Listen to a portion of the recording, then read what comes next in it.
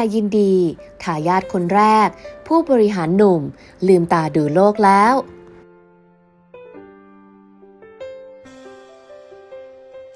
อบอวลไปด้วยความรักและความอบอุ่น เมื่อล่าสุด ผู้บริหารหนุ่มไฟแรง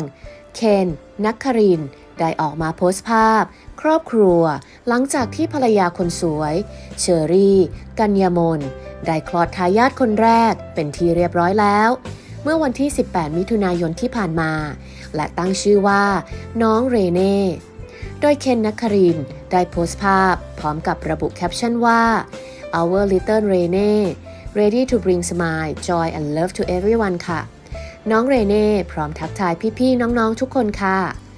และยังไงทางทีมข่าวต้องขอแสดงความยินดีกับทั้งคู่ด้วยนะคะ